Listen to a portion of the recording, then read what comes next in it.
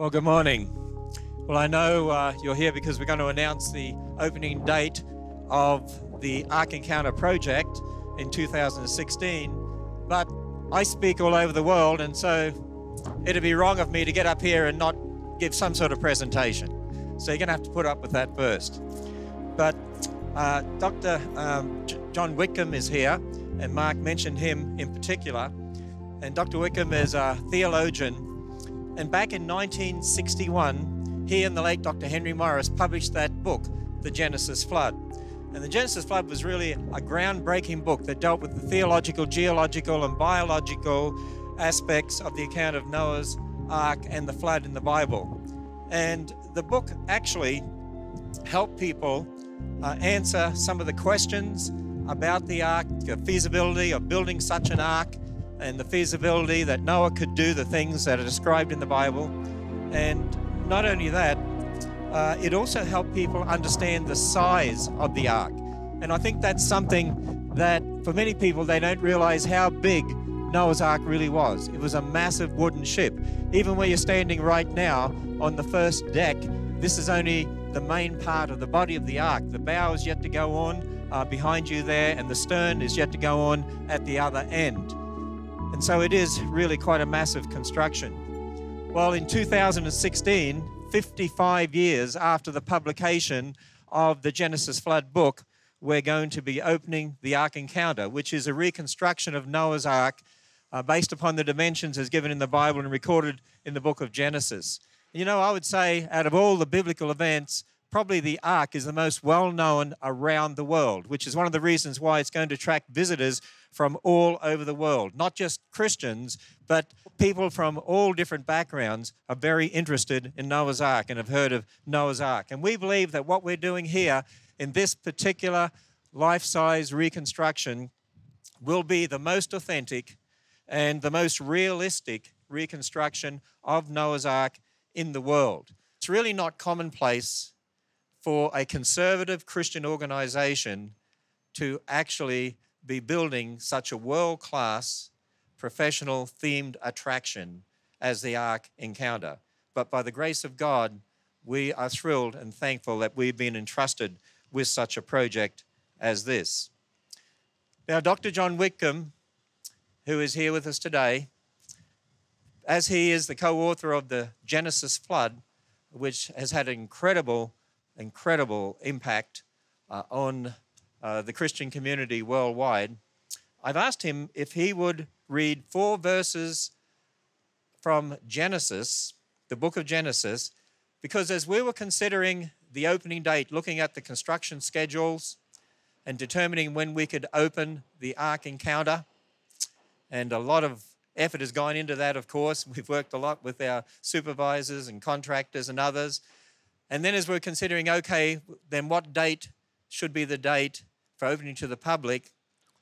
Uh, well, we came up with the date really based on these verses that I'm going to get Dr. Whitcomb to read to you. Not only that, we also came up with another idea in regard to the opening uh, that I believe people will really like as well. But first of all, let me get him to read these four verses of the Bible in Genesis, Genesis chapter 7, verses 4 through 7.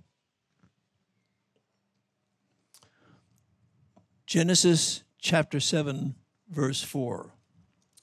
For yet seven days, and I will cause it to rain upon the earth forty days and forty nights and every living substance that I have made will I destroy from off the face of the earth. And Noah did according to all that the Lord commanded him. And Noah was 600 years old when the flood of waters was upon the earth. And Noah went in, and his sons, and his wife, and his sons' wives with him into the ark because of the waters of the flood. You say, Dr. Whitcomb, how do you know that that ever happened? Would you like to hear the creator of the world telling you about this? Listen, please, to Matthew chapter 24, verse 37. But as the days of Noah were, so shall also the coming of the Son of Man be. For as in the days that were before the flood, they were eating and drinking, marrying and giving in marriage until Noah the day Noah entered the ark, and knew not till the flood came and took them all away. And I say, Thank you, Lord Jesus Christ, for absolutely endorsing the historicity, the reality of that great flood, and the means by which you spared the human race in Noah's ark a few thousand years ago. Thank you, uh, Dr. Whitcomb. When he read those passages there from Genesis, he read Genesis 7 7, and on the front here, you see it has Genesis 7 7. And so, as we were thinking about when we were going to open the ark, well, in Genesis 7 7, it says that Noah and his family entered the ark. And so, what I'm going to do, according to our exhibit designers, if I pull this chain, something special will happen. Is that right? And there we are. The opening date of the ark, Genesis 7 7. So on 7 7 2016, we will allow the public to enter the ark. Noah and his family entered the ark, and the public are going to enter the ark for the first time on the 7th of July 2016. Now, as well as that, as well as entering the ark open to the public on July 7, 2016, because so many people have indicated that they want to come to visit the Ark and we're opening midsummer, we're a little concerned about how many people are going to want to come, particularly in the rest of that summer.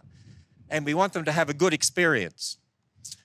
And so, as we thought about that, we also there read in Genesis 7, verse 4, that at the beginning of the flood, it commenced with 40 days and 40 nights of rain.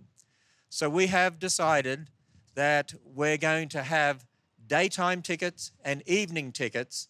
So, two times that people will be able to come to the Ark each day for the first 40 days and 40 nights. So, we're going to have 40 days and 40 nights of daytime tickets and evening tickets.